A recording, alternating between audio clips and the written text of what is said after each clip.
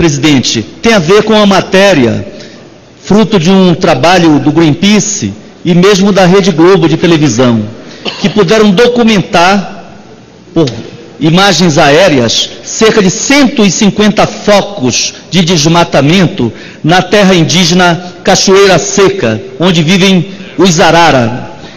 45 mil hectares, 45 mil campos de futebol, para melhor refletirmos sobre o estrago, a destruição que está sendo feita pela agropecuária Santa Efigênia.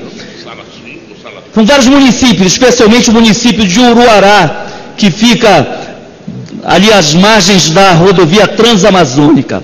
E o crime de desmatamento se dá com a conivência do Estado. Eu quero deixar aqui claro que a Secretaria de Meio Ambiente do Estado do Pará está oficializando planos de manejo que são fraudulentos, porque estão inflacionados em cerca de 1.300%. Não sei se todos sabem, um pé de ipê na Amazônia, em geral, ele dá entre 3 a 5 hectares, em 3 e 5 campos de futebol. Eles alegam que vão tirar 30, 25, 30 ipês em 3 hectares.